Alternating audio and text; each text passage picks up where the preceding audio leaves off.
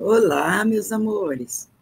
Hoje vamos trazer uma reflexão, trazendo consciência para os desafios dos nossos dia a dias.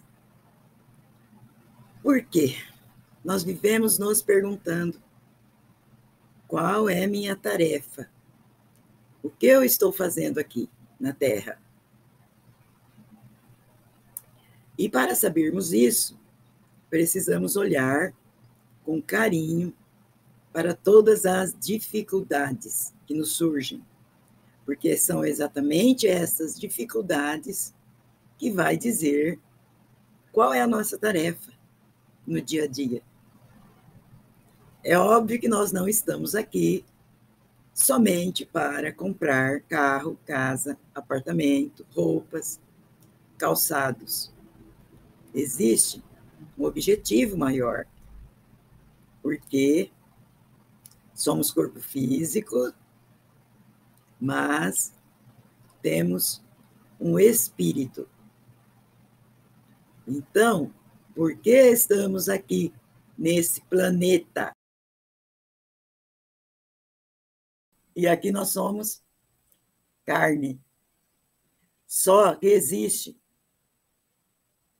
um espírito que nos anima a todo momento. Nós podemos observar no Sol, que é um criador, que existe um espírito. O planeta físico, ele se move, vive em movimento. E todo movimento gera esses atritos. Se nós não tivéssemos isso, não existiria vida, porque seria tudo paralisado.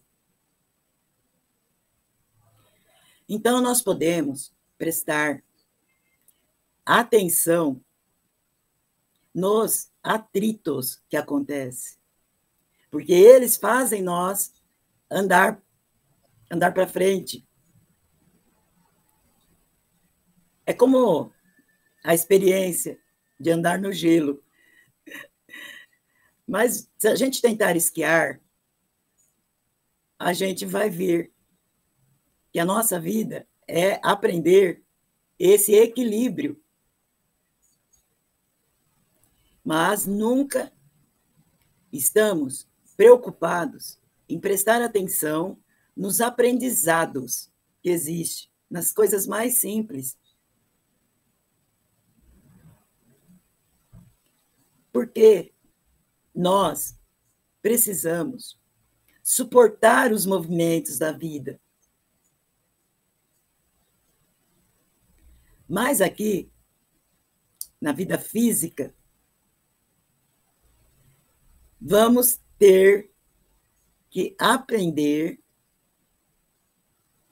a não valorizar os sofrimentos que acontecem no dia a dia. É para que nós aprendamos com tudo que ocorre. O que está ocorrendo hoje tem que se preocupar com o que está ocorrendo hoje, porque o passado não move mais. E o futuro, nós ainda não, não temos como saber. Mas no dia de hoje, todos nós temos problemas para resolver. Seja na família, no trabalho, pagar boleto. Sempre estamos dispostos a resolver os problemas, não estamos? É neste momento em que chegou a dificuldade que a gente tem que parar e entender que foi para isso que eu nasci. Que foi que esse aprendizado é o que a vida está me pedindo. Nos relacionamentos, conviver com as pessoas é muito complicado por causa das nossas diferenças. Se somos diferentes, é exatamente para que nós possamos nos burilar, Eu queria deixar uma mensagem que, se nós prestarmos atenção para aprender com as circunstâncias, é assumir as responsabilidades. Ao invés da vida nos manipular, nós conseguirmos ter o domínio sobre ela. Se tem dificuldades, é porque você tem que olhar, porque é essa a coisa mais importante que tem que ser resolvida. É na hora que tem a dificuldade. Quando é um problema de saúde, é mais é mais difícil. Mas mesmo assim, nesse momento, temos que ter a consciência que esse é o nosso aprendizado. E perguntar: o que, que eu preciso aprender neste momento? O primeiro passo que a gente tem que dar neste momento é o que está acontecendo, mas vendo por trás do problema. Não é olhando para o outro, ah, é por causa, por causa do meu filho, por causa do meu marido. Não é assim. Por que está acontecendo? Olhando pelo lado oculto daquilo. Principalmente quando há muita repetição diária. Tem uma causa oculta. Às vezes muda a forma, mas os problemas continuam os mesmos.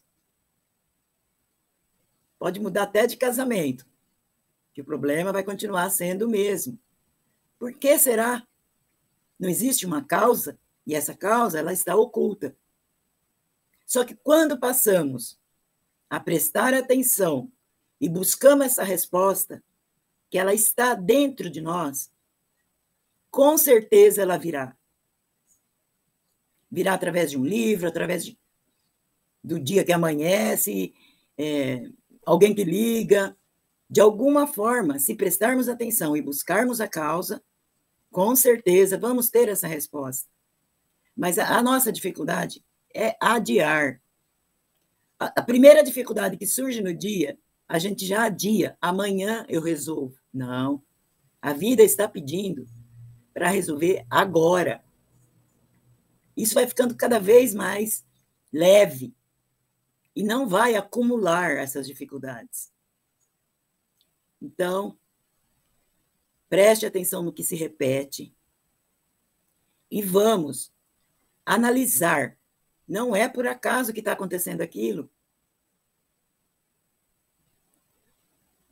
Podemos fazer uma meditação, uma respiração e buscar bem lá no nosso fundo, perguntando: o que é isso? O que eu faço com isso? Fica lá perguntando e prestando atenção. O que é isso que eu faço com isso? E se der conta do que está acontecendo. E também podemos nos ajudar aceitando as circunstâncias. Eu sei que é difícil. Porque nós só queremos se livrar. Mas não é esse o caminho. O que, que adianta se livrar agora, nesse momento, sabendo que vai haver repetições? Então, se nós treinarmos a resolver na hora, nem que tenha que parar por 10, 15 minutos, se perguntar: o que, é que eu faço com isso? O que é isso?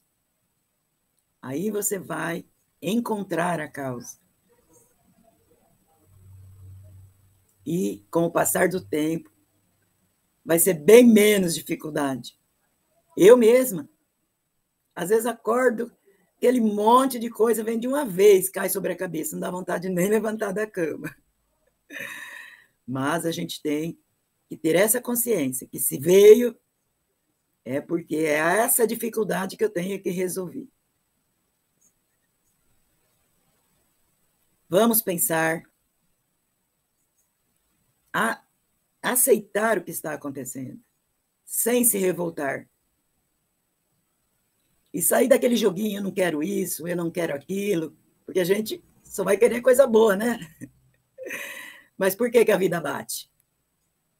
Porque nós não estamos entendendo o porquê que está vindo para nós.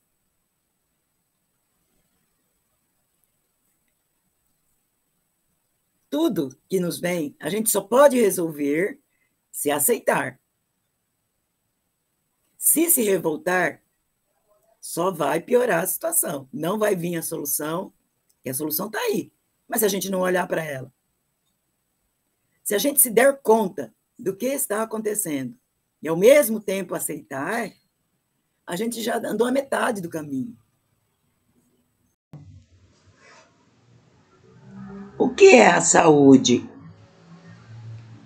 Uma boa saúde não é a ausência de sintomas, é a presença da paz.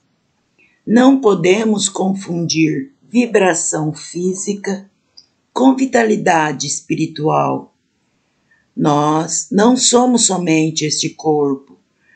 Nosso corpo é um instrumento, uma ferramenta, uma ferramenta magnífica, com certeza, mas ainda assim uma ferramenta.